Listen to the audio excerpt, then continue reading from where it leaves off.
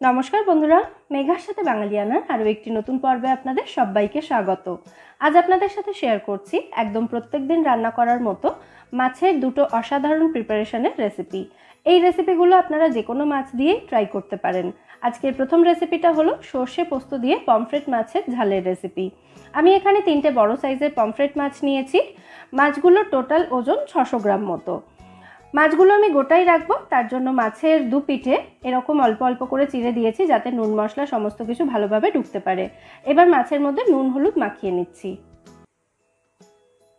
নুন হলুদটা আমি মাছের মধ্যে ভালো করে মাখিয়ে নিয়েছি। এবার মাছগুলো ভেজে নেব, তার জন্য একটা ফ্রাইং প্যানে আমি এখানে চার টেবিল চামচ সর্ষের তেল গরম করতে দিলাম। তেলটা গরম হয়ে গেলে এর মধ্যে মাছগুলো দিয়ে দু পিঠ হালকা করে ভেজে নেব। পমফ্রেট মাছ খুব বেশি কড়া করে ভাজলে কিন্তু ভালো লাগে না, সেই জন্য আমি একটু হালকা করে ভেজে এগুলো তুলে নেব।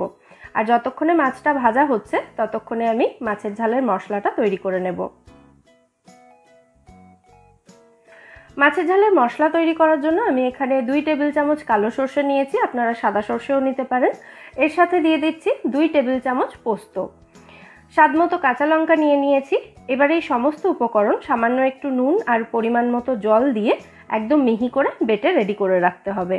এটাই আমাদের মাছের ঝালের মশলা। এদিকে দেখুন, আমাদের মাছগুলো ভালো করে ভাজা হয়ে গেছে। এবার এগুলো আমি তেল থেকে তুলে নিচ্ছি। আর বাকি যে একটা মাছ রয়েছে, এটাকেও একই রকমভাবে ভাজার জন্য দিয়ে দিচ্ছি। এবার গ্রেভি তৈরির জন্য আমি এখানে একটা বড় কড়াই নিয়েছি, কারণ ফ্রাইং প্যানে একসঙ্গে তিনটে মাছ ধরবে না। মাছ ভাজার পর যে তেলটা ছিল, সেই তেলটাই আমি কড়াইতে দিয়েছি গ্রেভি তৈরির জন্য। এবার এই তেলের মধ্যে ফোড়নের জন্য এক চা চামচ কালো জিরে এবং একটা কাঁচা লঙ্কা দিয়েছি। কাঁচা লঙ্কাটা একটু ভাজা হওয়ার পর, সর্ষে পোস্ত, কাঁচা লঙ্কা, সামান্য নুন দিয়ে যে পেস্টটা আমি তৈরি করে রেখেছিলাম, সেই বাটা মশলাটার বেশিরভাগটাই আমি এর মধ্যে দিয়েছি। আর এর সাথে দিয়ে দিচ্ছি হাফ চা চামচ মতো হলুদ গুঁড়ো, স্বাদ মতো লঙ্কা গুঁড়ো, চার টুকরো ছোটো টমেটো দিয়েছি মানে একটা মাঝারি সাইজের টমেটোর অর্ধেকটা এটা। এবার এই সমস্ত উপকরণ একসাথে মিশিয়ে কষিয়ে নেব এক থেকে দেড় মিনিট মতো। কষানোর সময় সামান্য একটু জল দিয়ে দিয়ে কষিয়ে নিচ্ছি। এই মশলার মধ্যে যেহেতু সর্ষে রয়েছে, সেই জন্য মশলাটা কিন্তু খুব বেশিক্ষণ কষানো যাবে না। এক থেকে দেড় মিনিট মতো কষিয়ে নেওয়ার পর এর মধ্যে দিয়ে দিচ্ছি আমি গ্রেভির জন্য পরিমাণ মতো জল। দিয়ে দিচ্ছি এবার স্বাদ মতো নুন। মশলাতেও নুন দেওয়া ছিল, সেই জন্য নুনের পরিমাণটা কিন্তু একটু বুঝে দিতে হবে এই সময়।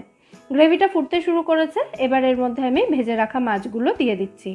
মাছ রান্না হতে কিন্তু খুব বেশিক্ষণ সময় লাগে না, পাঁচ থেকে ছ মিনিট এটাকে রান্না করলেই মাছটা খুব ভালো মতো সেদ্ধ হয়ে যায়। তো মাছগুলো গ্রেভিতে দেওয়ার পর, গ্রেভির মধ্যে এগুলোকে ভালো করে ডুবিয়ে দিয়ে তারপর কড়াইটাকে ঢাকা দিয়ে প্রথমে দু থেকে তিন মিনিট মতো লো ফ্লেমে এটাকে আমি রান্না হতে দেব। দু তিন মিনিট পর ঢাকনাটা খুলে নিলাম।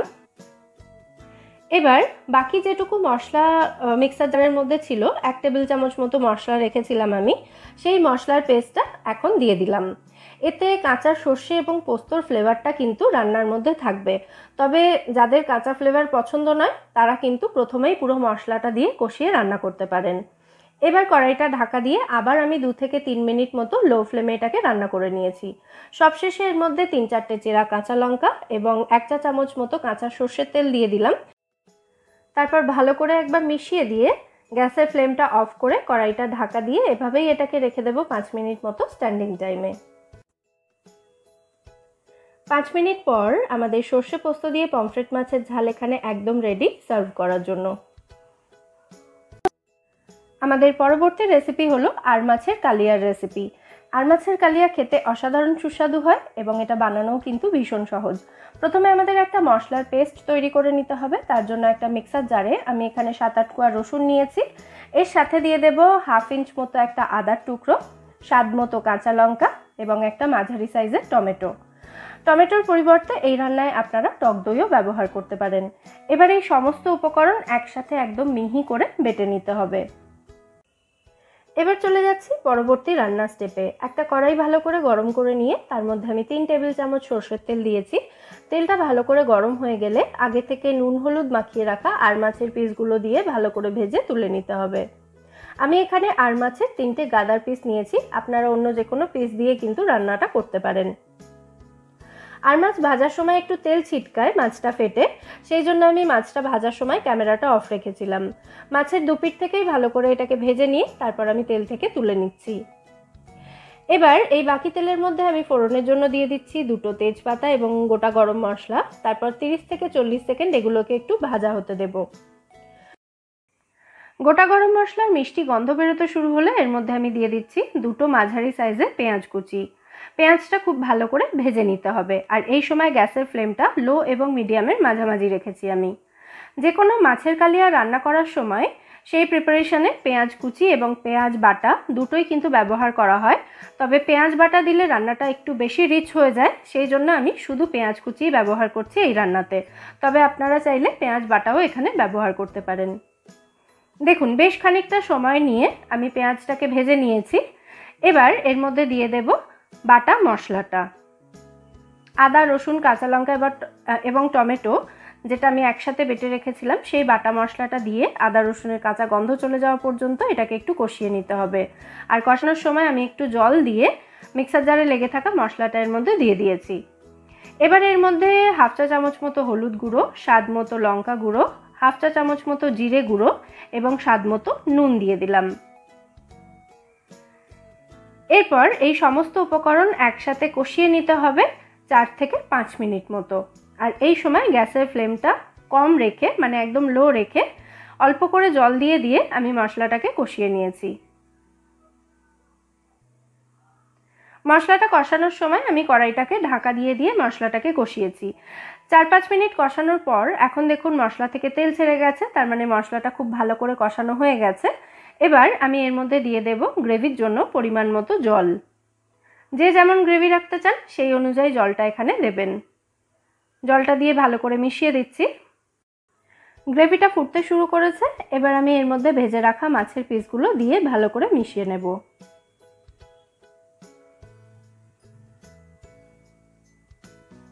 তারপর কড়াইটাকে ঢাকা দিয়ে পাঁচ মিনিট একদম লো ফ্লেমে রেখে এটাকে রান্না হতে দেব। পাঁচ মিনিট পর আমি ঢাকনাটা খুলে নিয়ে এর মধ্যে দিয়ে দিচ্ছি সামান্য একটু সর্ষে বাটা। হাফ চা চামচ মতো কালো সর্ষে, সামান্য একটু জল এবং নুন দিয়ে আমি বেটে নিয়েছিলাম। সেই সর্ষে বাটাটা এর মধ্যে দিয়ে ভালো করে মিশিয়ে নিলাম। সর্ষে বাটাটা দেওয়ার পর আর এক মিনিট মতো রান্না করে তারপর আমি এর মধ্যে হাফ চা চামচ মতো গরম মশলা গুঁড়ো ছড়িয়ে দিলাম। দিয়ে একবার মাছের পিসগুলোকে উল্টে দিচ্ছি। মানে সমস্ত উপকরণ আমি একসাথে ভালো করে মিশিয়ে নিচ্ছি। মেশানো হয়ে গেলে গ্যাসের ফ্লেমটা অফ করে দিয়ে কড়াইটাকে ঢাকা দিয়ে পাঁচ মিনিট মতো এটাকে স্ট্যান্ডিং টাইমে রেখে দেব। পাঁচ মিনিট পর আমাদের আর মাছের কালিয়া এখানে একদম রেডি সার্ভ করার জন্য। খেতে অসাধারণ টেস্টি হয়, অবশ্যই কিন্তু ট্রাই করবেন। আর আজকে শেয়ার করা দুটো রেসিপি আপনারা যে কোনো মাছ দিয়ে ট্রাই করতে পারেন। অবশ্যই ট্রাই করে আমায় জানাবেন রেসিপিগুলো আপনাদের কেমন লাগল। আর এই রেসিপি দুটো আপনাদের যদি ভালো লেগে থাকে, ভিডিওটাকে অবশ্যই একটা লাইক এবং শেয়ার করার অনুরোধ রইল। আর আপনি যদি আমার চ্যানেলে নতুন বন্ধু হয়ে থাকেন অথবা চ্যানেলটা এখনও সাবস্ক্রাইব না করে থাকেন, তাহলে প্লিজ চ্যানেলটা সাবস্ক্রাইব করারও অনুরোধ রইল। ফিরে আসব নতুন কোনো রেসিপি নিয়ে। সবাই সুস্থ থাকবেন, ভালো থাকবেন এবং সবাইকে খুব ভালো রাখবেন।